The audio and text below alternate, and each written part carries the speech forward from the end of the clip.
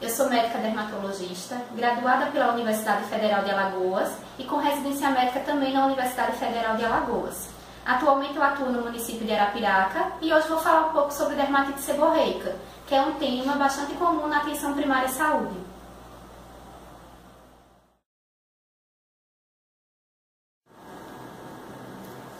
Então, o que é a dermatite seborreica? Ela é um eczema crônico, recorrente, é uma doença não contagiosa e que vai ocorrer nas áreas corporais ricas em glândulas sebáceas.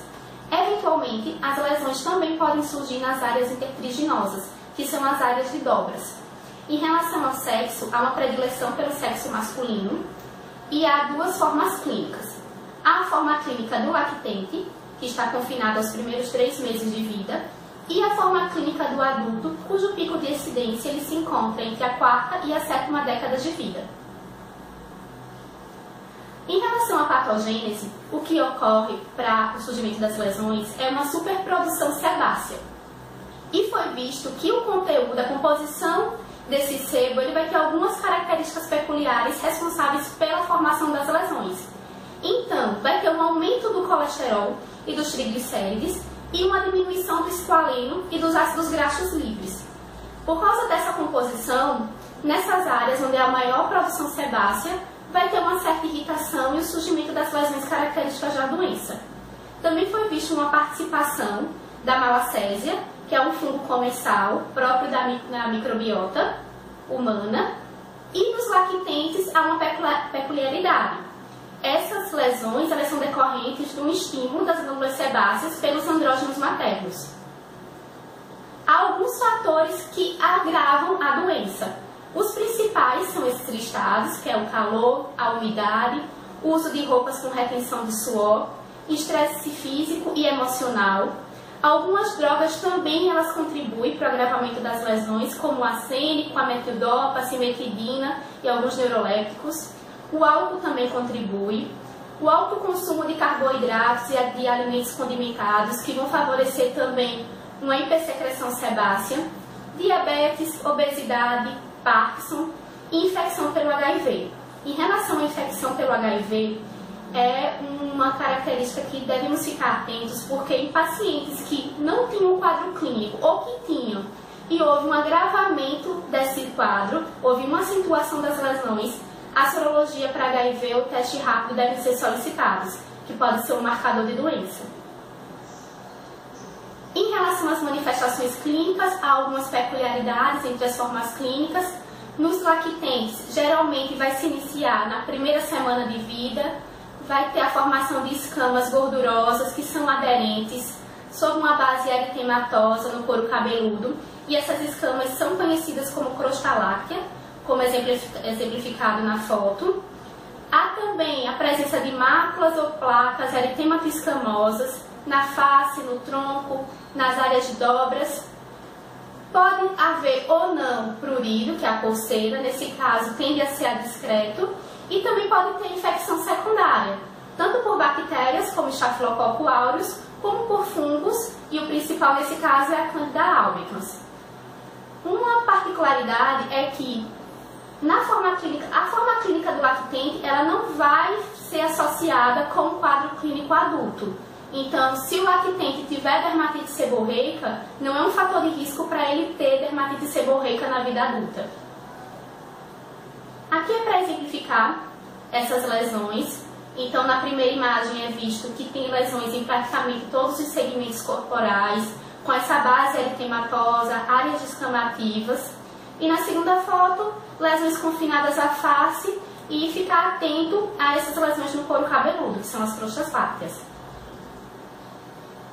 Uma particularidade, que é uma condição que devemos ficar atentos, é a eritrodermise foliativa do infante, que é a doença de Lyme. Ela é causada por uma deficiência de C5 e, nesse caso, vai ter uma dermatite seborreica grave, acompanhada de diarreia, vômitos, anemia e febre. Essa condição necessita de internação hospitalar devido ao risco iminente de morte. Já no adulto, as lesões elas geralmente ocorrem em, na face, no couro cabeludo, na face principalmente na glabela, no suco alar, nas asas nasais, no suco nasogeniano. também estão presentes nas regiões retroauriculares, no conduto auditivo, nas pálpebras, podendo causar blefarite, e nas porções medianas do tórax e até mesmo na região pubiana. Vão ser lesões eritematodescamativas. Um quadro também tem curso crônico com períodos de acalmia e de recidiva. O uso de algumas substâncias pode fazer com que haja um quadro eritrodérmico, algumas substâncias agravantes, e a eritrodermia é caracterizada por mais de 95, 90% do corpo com eritema e descamação. Lembrar também que o quadro pode ser agravado por infecção pelo vírus HIV. Exemplificando as lesões da forma clínica do adulto, podemos ver se eritema e descamação na asa nasal, na glabela, na região retroauricular e na orla do couro cabeludo.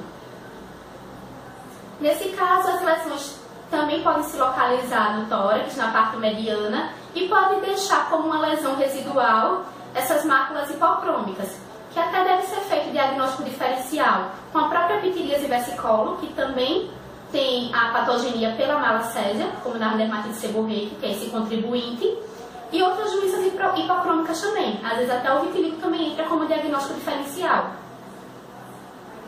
O diagnóstico da dermatite seborreica ele é eminentemente clínico, não necessita de nenhum exame complementar para fechar o diagnóstico, mas alguns diagnósticos diferenciais devem ser pensados, principalmente a psoríase, a pitiríase rósea, dermatite atópica, principalmente nas crianças, e algumas infecções fúngicas como a candidose e as dermatofitoses. Sobre o tratamento, há algumas particularidades da forma infantil e da forma do adulto. Na forma infantil, eu dividi esses cuidados em relação ao couro cabeludo, nas tronquiárias intertriginosas e as medidas gerais. Couro cabeludo, principalmente deve ser feita essa remoção das escamas. Para poder facilitar, pode-se utilizar o óleo mineral aquecido, em uma temperatura morna, um pouco antes do banho, vai facilitar a remoção dessas escamas. Essa área, essa base eritematosa, pode ser feita a limpeza com soluções antissépticas, alguns exemplos, água boricada, ou solução de permanganato. E também pode ser feito uso de sabonetes ou shampoos antisseborreicos.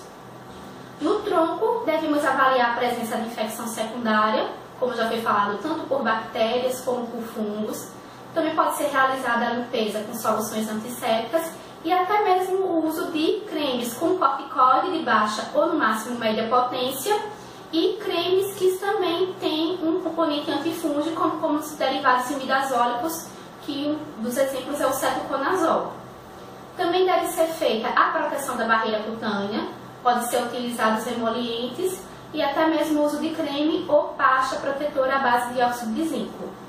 Em relação às medidas gerais, deve ser evitado excesso de roupas para evitar o aquecimento, que é um dos fatores agravantes, uso de roupas mais frescas, como algodão e linho, e também aumentar a frequência da troca de fraldas. Já na forma do adulto, deve-se também prescrever o uso de emolientes, pode-se utilizar corticoides tópicos de baixa ou de média potência, os derivados imidazólicos, como cetoconazol, tanto na forma de shampoos para a limpeza do couro cabeludo, como na forma de cremes que podem ser utilizados no corpo. O ciclopiroxalamina, ele é um antifúngico, é uma classe mais nova, e ele tem uma atividade tanto antifúngica como anti-inflamatória e tem uma boa resposta no quadro. E outras opções de segunda linha são de zinco, shampoo de alcatrão, os inibidores da calcineurina, os exemplos é o picmicrolimus e o tacrolimus, que são utilizados na forma tópica. Que foi a bibliografia que eu utilizei para poder fazer essa aula. Espero que seja uma aula que seja proveitosa e qualquer dúvida pode deixar o um comentário que eu respondo posteriormente. Obrigada.